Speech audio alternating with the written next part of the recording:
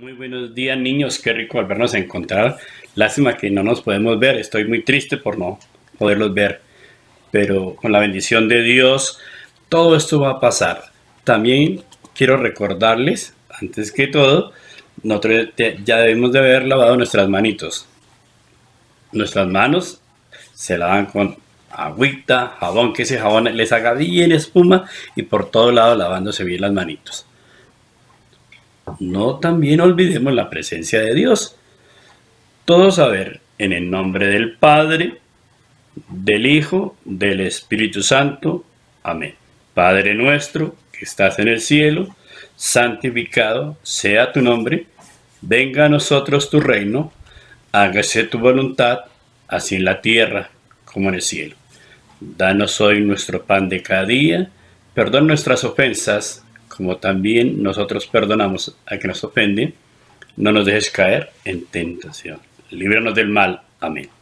Dios te salve María, en eres de gracia, el Señor es contigo, bendita tú eres entre todas las mujeres y bendito es el fruto de tu vientre Jesús. Santa María, Madre de Dios, ruega por nosotros los pecadores, ahora y en la hora de nuestra muerte. Amén. Señor Jesús, te damos gracias por este nuevo día.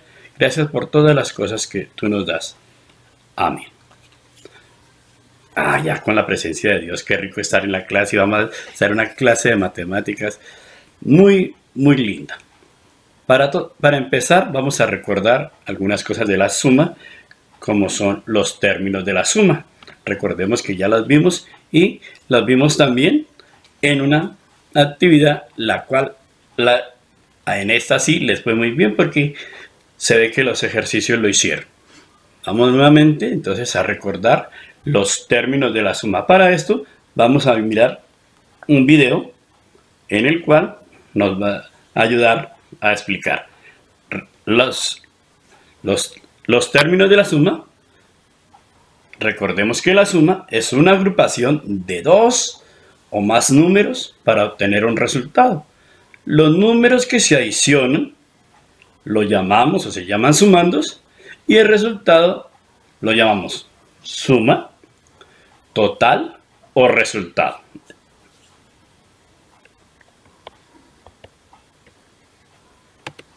Hola chicos, vamos a descubrir cuál es el nombre de los términos de la suma, ¿de acuerdo?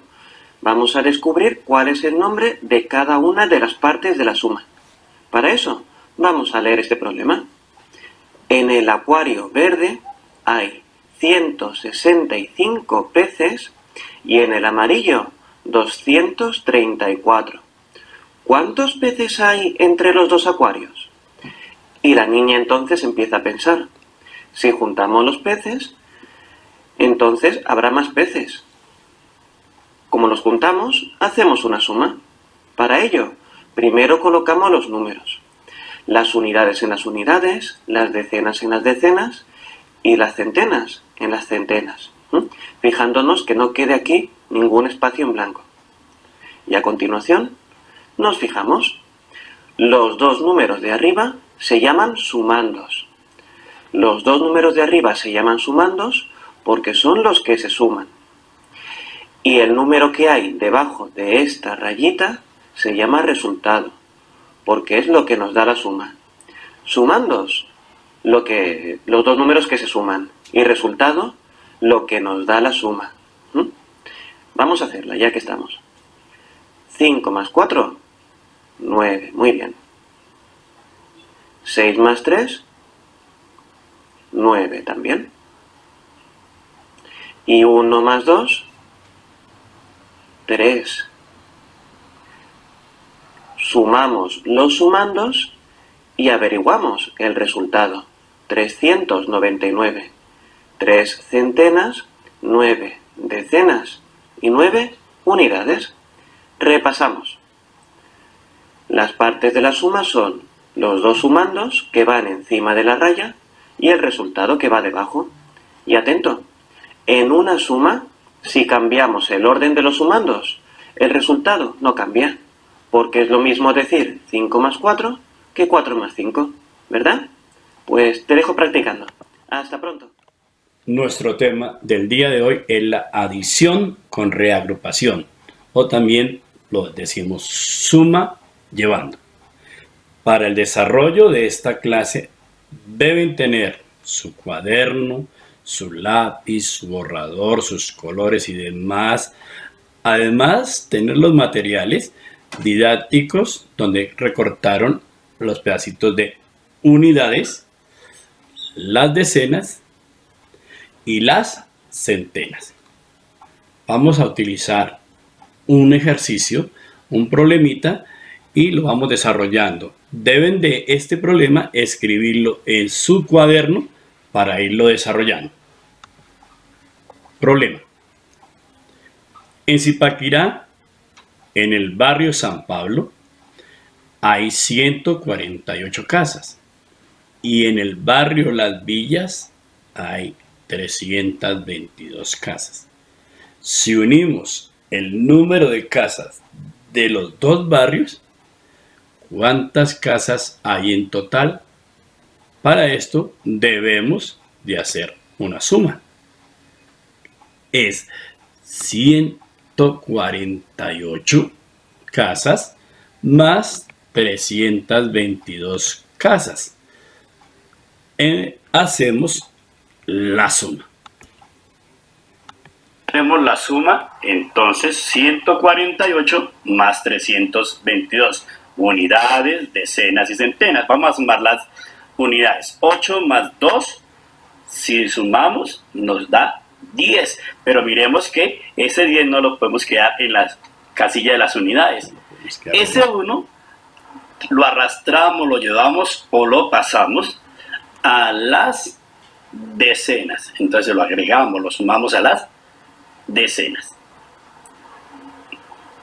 Ahora, sumamos 4 más 2. 4 más 2 nos da 6.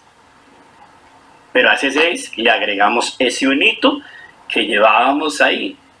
Entonces, 6 más 1 que llevábamos, 7.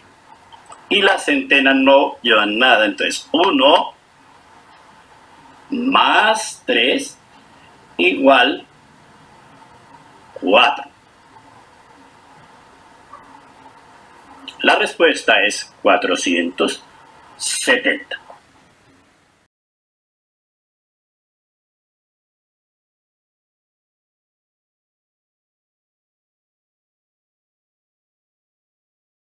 Para continuar con la explicación, vamos a hacer un pequeño ejercicio.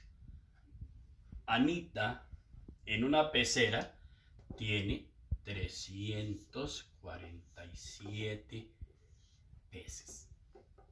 Y en otra pecera tiene 235 peces. Para saber el resultado de esta operación, hacemos una suma.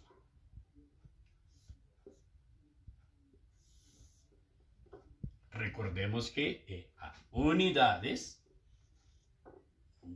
decenas y centenas. La suma arrancamos por la casilla de las unidades.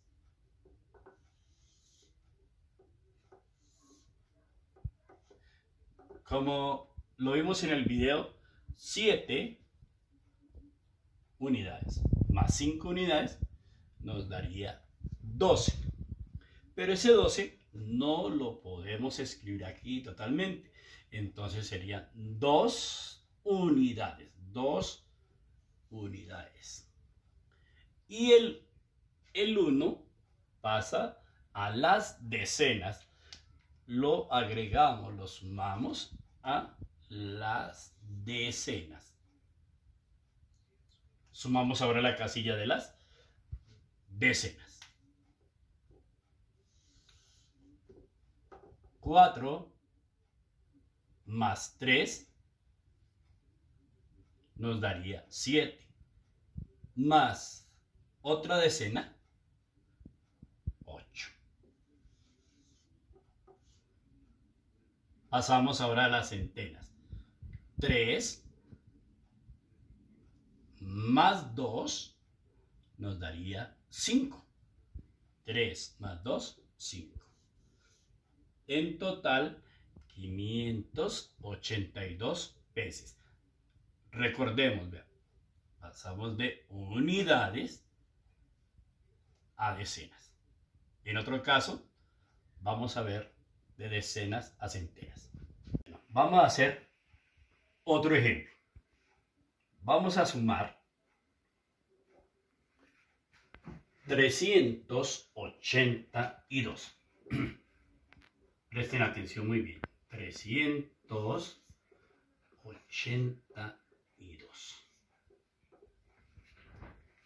Más, ya de una vez decimos, más 154.